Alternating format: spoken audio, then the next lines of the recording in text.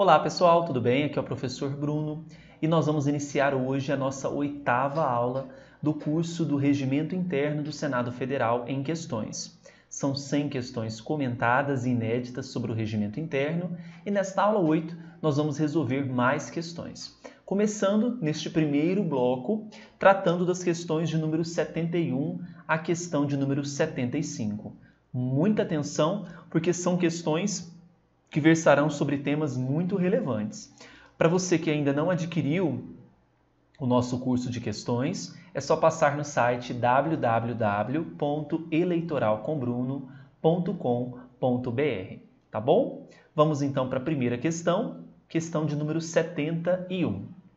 De acordo com o regimento interno do Senado Federal, o interstício entre a publicação de avulsos eletrônicos dos pareceres das comissões e o início da discussão ou votação correspondente é de quanto tempo?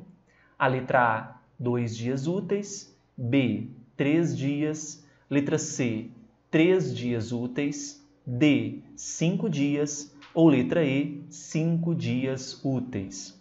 Ora, o intervalo, o interstício é o mesmo significado entre a publicação de avulsos eletrônicos dos pareceres das comissões e o início da discussão ou votação correspondente, de acordo com o que orienta o artigo 280 do Regimento Interno, é de três dias úteis. Então, letra C é o gabarito. 72 referente ao turno suplementar no Senado Federal, considere as assertivas com base em seu regimento interno.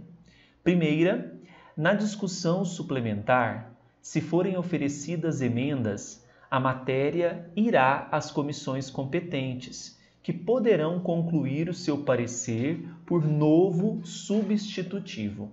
A número 1 um está incorreta, essas comissões competentes elas não poderão concluir o seu parecer por novo substitutivo, tá? Então a número 1 está falsa de acordo com o artigo 283.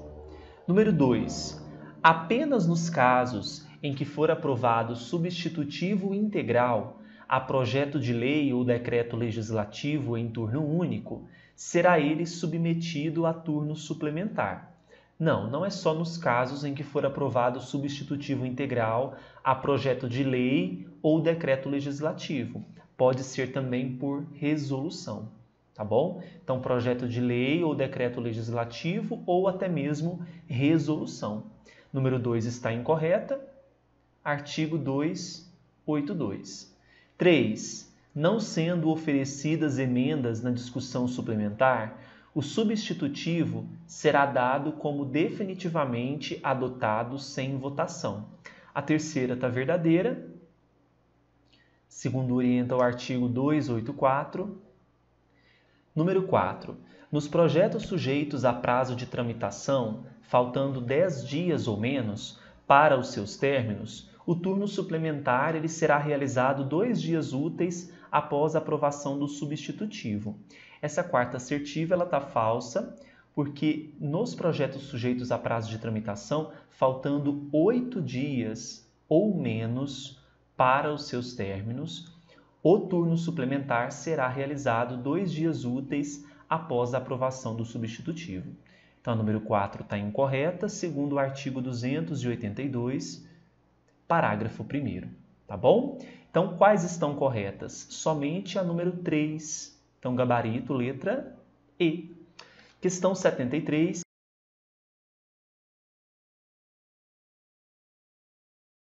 Agora, pessoal, se você gostou do vídeo, dê o seu like, se inscreva no canal e clique no sininho para receber todas as novas publicações. Além disso, no nosso canal do YouTube nós temos várias playlists com leis comentadas, questões comentadas, feitas com muito carinho para você.